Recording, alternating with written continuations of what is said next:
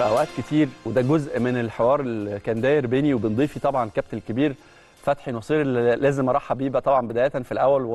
وعلى أشكره على وجوده معانا النهارده مساء الخير كابتن فتحي. مساء الخير يا كابتن. يعني بس خليني أقول للناس أنا كنت بتكلم دايما إنه في أوقات كتيرة جدا لما الفوارق بين كل نادي والتاني آه، بتكون كبيرة كل واحد بيلعب على قد إمكانياته. كنت بقول الكلام ده لكابتن فتحي. كان بيعمل مقارنة سريعة ما بين شكل وأداء الأهلي في بطولة زي كأس العالم وهو بيقابل الكبار مع وجود فوارق كبيرة جدا على كل المستويات وبين شكل الأهلي في الدوري.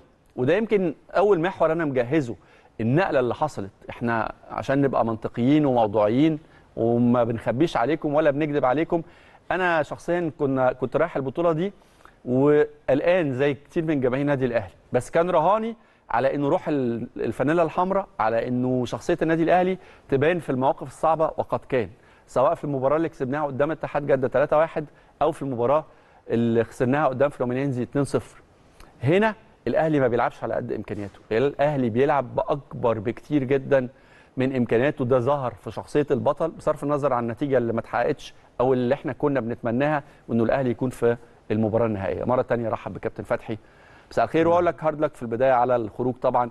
شوف النهارده إحنا بنقول hard luck إنك أنت رايح تلعب على مركز ثالث ورابع في كأس في العالم كأس عالم آه، اولا طبعا شفت المقدمة بتاعتك وال intro بتاعك ويمكن آه، وفرت لي عليا حاجات كتير الواحد هيقولها. لا ده إحنا هنس- هنس- هنستزيد من خبرتك الكبيرة يا كابتن فتحي النهارده. آه، الله يخليك يا أبو حميد. ال ال إحنا عندنا النقطة بتاعتنا أو أنت تقارن بيها أو اللي أنت بتشوف فيها. أنا بقول الدوري المصري والدوري البرازيلي. في هذه المباراة. الدوري المصري والدوري البرازيلي. يعني إيه؟ انت بتلعب الدوري البرازيلي بدوري مصري. الدوري المصري لا يرقى إلى الدوري البرازيلي. وده بطل الدوري البرازيلي وانت بطل الدوري المصري.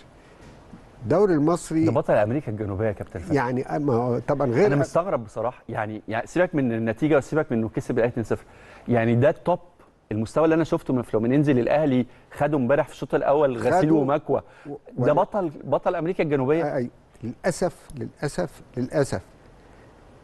إن إحنا لازال رأس الحربة مفقود عندنا. امم لو في العام الماضي رأس الحربة موجود كنا هنروح في حتة تانية. أيوه. لو السنة دي رأس الحربة موجود كنا هنستريح من الماتش من الشوط الأول. ما إحنا قدمنا كل الشغل ده.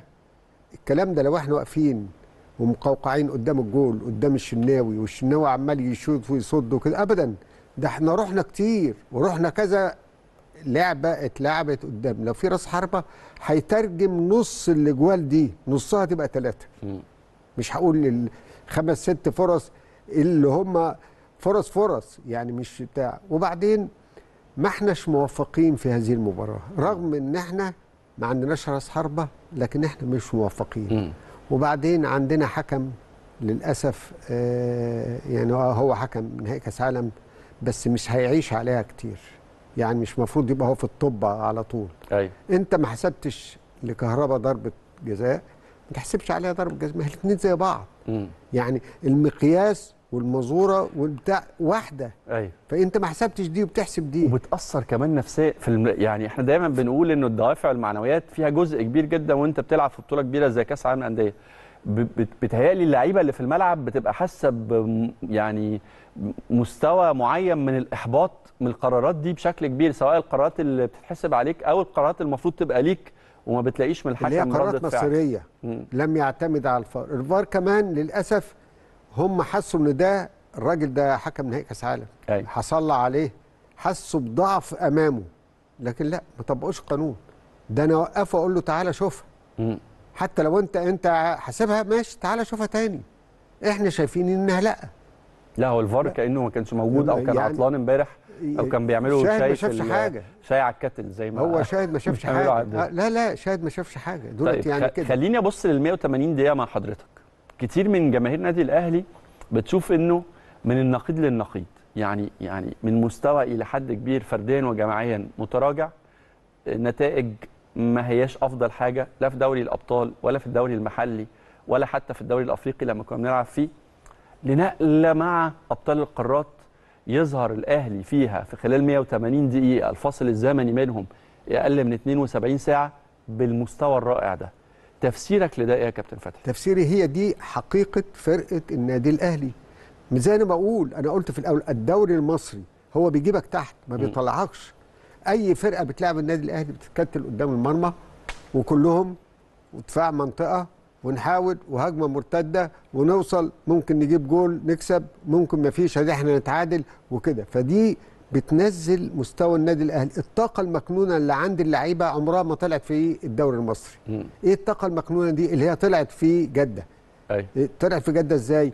إن أنت بتشوف اللعيبة اللي بتجري اللعيبة اللي بتشترك السرعة الأداء ال- ال- مش العنف الرجولة في في أداء في الملعب كل اللعيبة بدون استثناء. اللي لعبوا أساسي والبدلاء كلهم نفس التفصيلة نفس الوضع نفس القصة. أنت لقيت مستوى تاني لقيت ملاعب لقيت جمهور برضه الجمهور كان له دور. طبعا. فطبعا كل الحاجات دي بتطلع منك أنت إمكانياتك الداخلية المدفونة. ما تطلعش هنا في مصر. مم. ليه ما تطلعش في مصر؟ مفيش الجمهور اللي إحنا بنقول عليه. مفيش الملاعب الصالحة اللي بنقول عليه. مفيش المساحة بتاعت الفرق اللي قدامك اللي بتشدك. هناك في منافسة. أنت مين؟ أنا مين؟ مم. يعني أنت بتلعب أنا بنزيما أنا ياسر.